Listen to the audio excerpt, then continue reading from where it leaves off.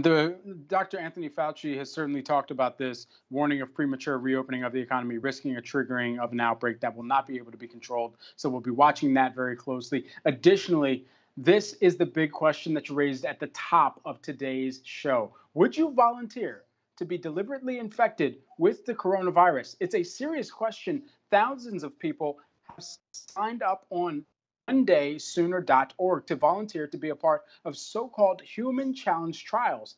The hope is that by purposely giving some people the virus, followed by a potential vaccine, it could substantially, substantially decrease the amount of time it takes for a vaccine to become available. Josh Morrison is the co founder of the One Day Sooner movement. Josh, thanks for joining us here today. We got to dive right in. Why are the challenge trials so important, and have they ever been done before with other diseases? So, challenge trials have been done uh, for a number of different diseases, including malaria, uh, dengue fever, cholera, typhoid, and flu. The drug Tamiflu, for example, was developed with challenge trials, as was the malaria vaccine uh, RTS-S that's being deployed in Africa right now.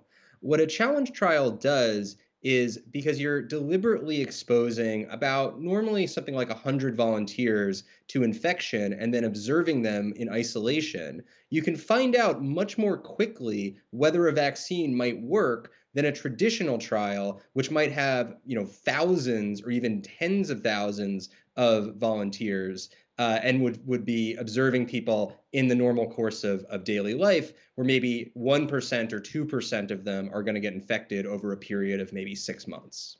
This is a super interesting topic here. So, the difference between COVID 19 and diseases like malaria or cholera is and and the regular flu we might add is that they have effective treatments and of course coronavirus does not at least yet the guiding principle mm-hmm. of medicine is do no harm. So, aren't there mm-hmm. serious mm-hmm. ethical issues with injecting live humans with a virus that could potentially kill them? Mm-hmm. And so, first of all, you know, no one would ever want to understate the risks of COVID 19 um, or that, that volunteers would, would be facing.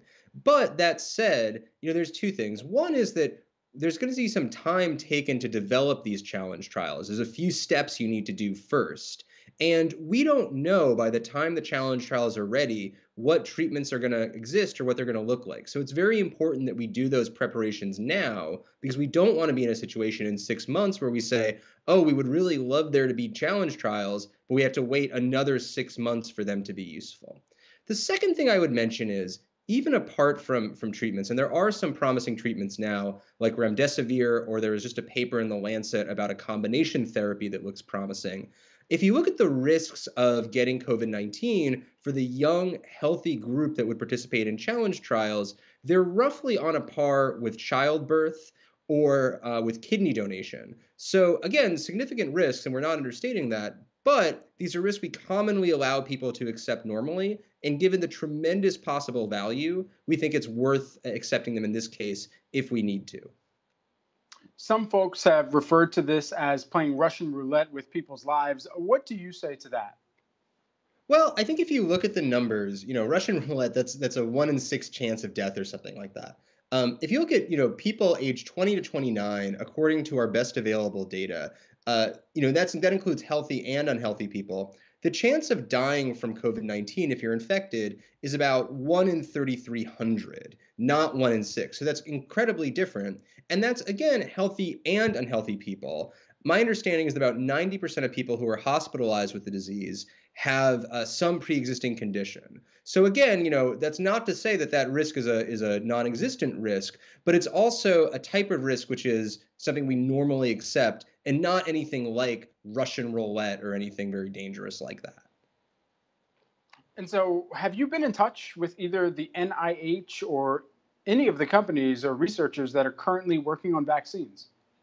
Yes, uh, yeah, it's a great question, and so we've we've had talks with experts at the NIH and the WHO, and uh, at least three of the different, say three of the different vaccine manufacturers that have products in uh, in human testing right now.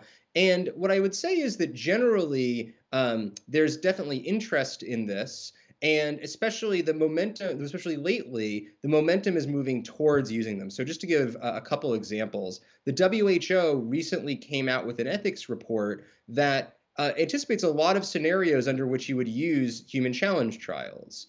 And you know, I think that ethics report isn't perfect, and we made some suggestions uh, that weren't included that we think were, would, would have significantly improved it. But I think it was a great start. And also, if you look at the NIH, and there was a recent paper published in Science where one of the NIH's bioethics experts, Annette Rid, was one of the lead authors.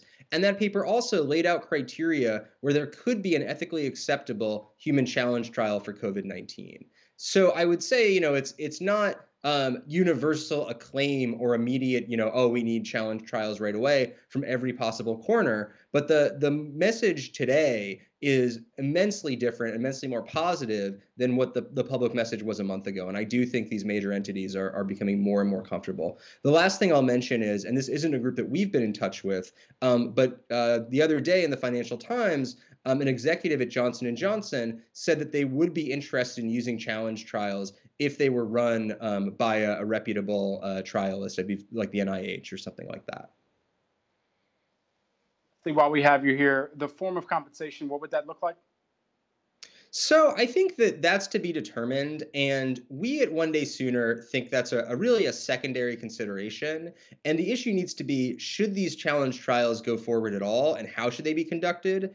And as long as volunteers are treated fairly, uh, you know, the the compensation that's something that can be figured out later. You know, that's really when we when we do our town halls with volunteers and we do our interviews with volunteers, it's basically something that's never brought up, except when we ask our volunteers, you know, what what should the compensation be? Because we always get that question in the media. And honestly, the most common answer is, oh, well, you know, there shouldn't be compensation. I think that's a little unreasonable. I think that um, you know, for example, lost wages uh, need to be reimbursed. And you know any long-term harms that could happen to a volunteer need to be need to be compensated and, and people need to be taken care of. Um, we've also talked to volunteers about the idea that some volunteers might want to give their compensation to charity or something like that. But I, I think that's a conversation for for later. And as long as volunteers aren't doing it primarily for financial motivations and having talked to the people who've signed up i, I feel quite certain that's the case um, we, we think of compensation as, as really a, a secondary question Okay, I just think of this as the hazards pay, hazard pay, um, the ultimate form of hazard pay. Josh Morrison, Executive Director and co founder of One Day Sooner, thank you so much for joining us. Keep us updated on the trials.